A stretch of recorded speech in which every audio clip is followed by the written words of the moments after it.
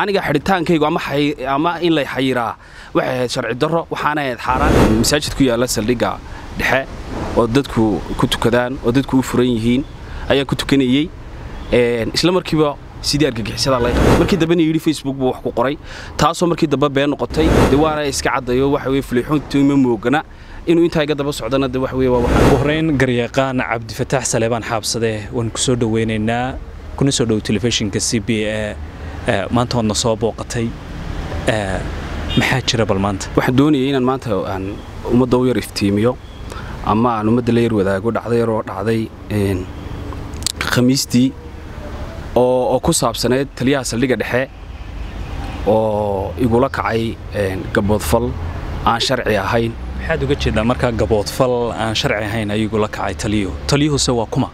Taliyuhu waa taliyaha saldhigga dhexe axmed dacwo ku magac dheer gaboodfalka haddaan si kale u dhigo anigoo faldembiyeed gacanta kula jirin cidii soo dacwaysana aanay jirin.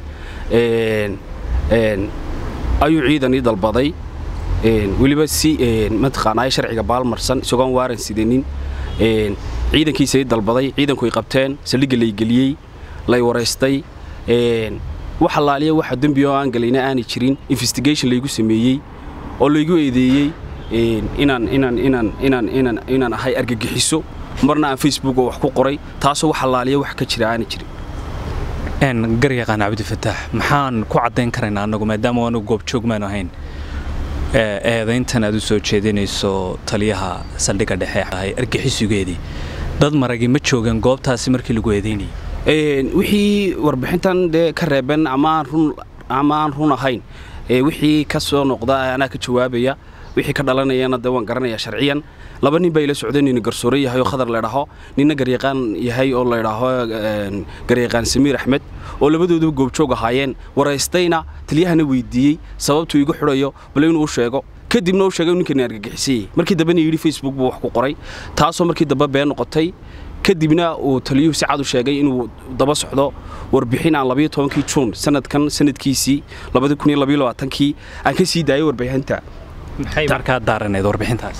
tacadiyo loogu geystay saldhigga dhexe oo nin xiniinta lagaga saaray iyo inantii dee warbaahintoo dhan ay wada arkayseen in laadka lala dhacayey oo inantaasi ka mid ahayd ninka xiniinta lagaga saaray ay ka mid ahayd oo aan maxkamad la horgeynin caafimaad ama dhakhtarna aan la horgeynin oo aan warbaahinta ka hadlo aan idhi dad baa bartaa si sharci darraa loogu haystaa maxkamadna aan la horgeynin tii baana uniga daba socdaa carabkana uu ku dhuftay.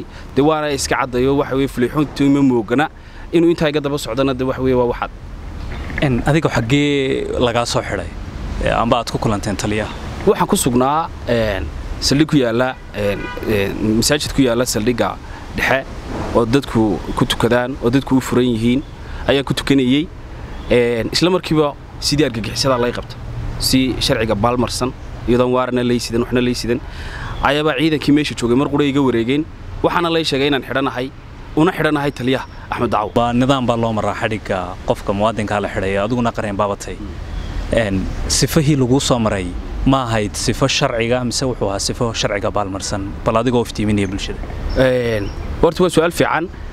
Qofka waxaa lagu xidhi karaa un sifooyin badan. Qofkaasoo markaa faldembiyeed gacanta kula jira oo falagaraysa ah de waa lagu xidhi karaa.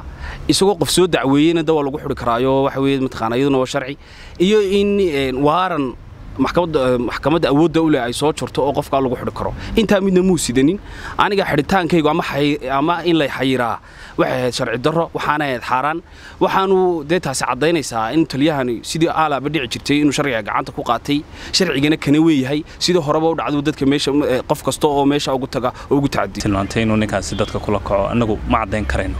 Laakiin adoo cabashadaada aday gaar ku tahay bal yaad farriin u diraysaa koley dee waa dalkeennu sharci buu leeyahay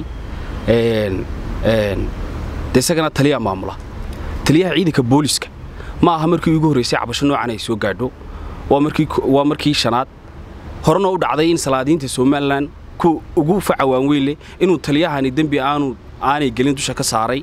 Kadibna sidaa lagu xidhay.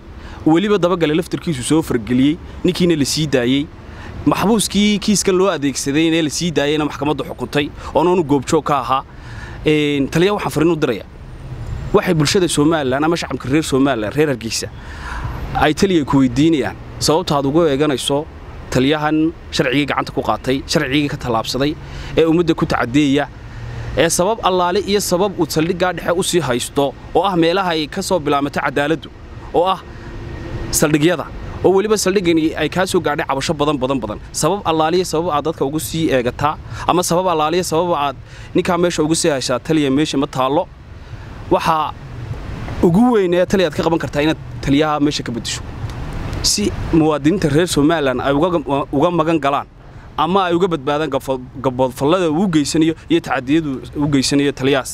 Lambarkaad la hadashay waa mashquul daawadayaalkaasi waxa uu ahaa taliya axmed oo aan isku daynay inaannu la xidhiidhno si aan wax uga weydiinno eedeymaha u soo jeediya garyaqaan cabdifataax wakhtiga ugu horreeya ee aannu taliyaha la kulanno ayaannu idiin soo gudbin doonaa xogtan oo dhammaystiran. Xamse xayd wararka lanta afka soomaaliga ee c b a t v hargeysa